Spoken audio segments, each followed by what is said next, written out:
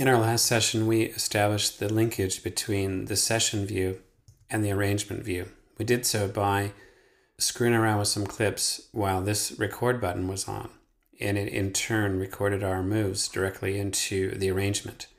How can I tell that I actually have something recorded here? Because to the new user, it just still looks the very same. So here's the difference. Um, right now, I can see some solid red bands, some clip areas. The other telltale key is remember when I pulled this fader during my move? Now I have a little red dot on that fader. What it says is that I have something written to this fader. Okay. Now there's a couple of things as well. I can go and touch any clip here, and this button's going to fire. This button basically says, Whoa, Charlie, you've got something recorded in the arrange. Are you sure this is crazy? You can't do this. No, don't. That kind of stuff. Watch. Ding. There it goes. It's on now. Okay. And it basically says, oh no, man, you have something underneath. Well, there's even a better way to indicate that there's something under there. Before we've looked and we've seen that I can turn views on and off via this thing here. Well, unfortunately, there's one little button that should be down here that isn't. That's called the overview. So I'm going to go to view and select overview. Ah, now what I have is this, and I get a little scrub indicator here. Now watch something. When I move my location, these clips change. They're basically giving me a visual indicator of where stuff is down here, okay?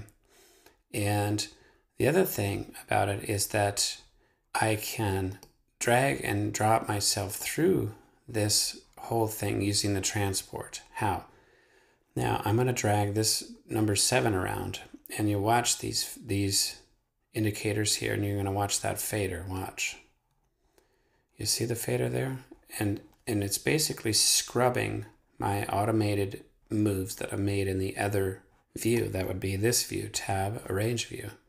Very good. Now I can also engage the overview in this view.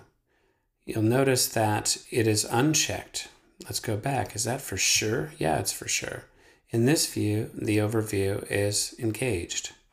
Overview engage. If I hit my tab key and I go to the arrangement, I have no overview here. Get it on. View, check, overview. Now I get the same thing.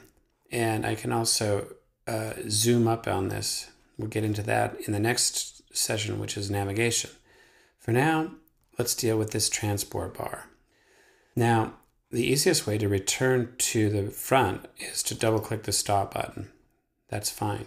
I can also just click the field here, type in any, any number, and even though it doesn't look like it's going to take it, it does. But it doesn't do anything. Right now, here exactly is where my play position is, is 1. If I hit return, it's going to go to 16. Cool. Now, remember this little speaker icon. If you don't see the speaker icon, it's because in the look and feel menu of the prefs, you need to turn on the permanent scrub area. Turn this on. Now I can move around this way.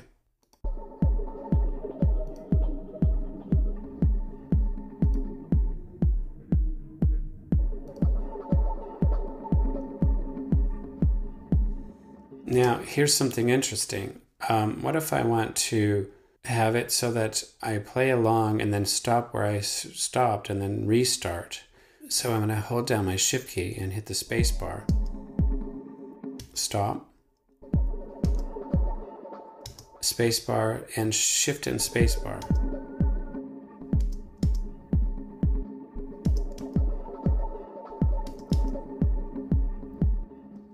Okay, another little transport deal. Now, all of this is affected by this right here. So if I just drop this speaker down anywhere,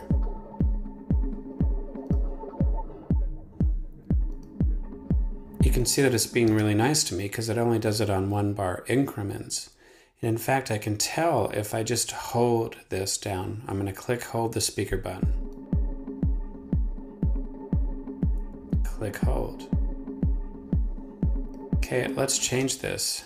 I'm going to go down to eighth notes and click hold.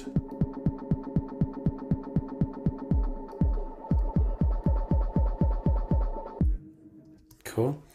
And back out. Half notes.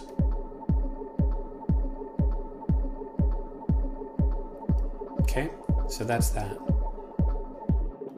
What's this guy here?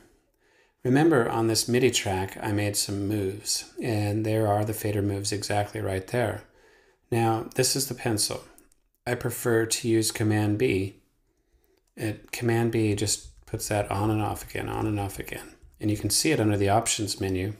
Um, draw mode. Okay, Command B.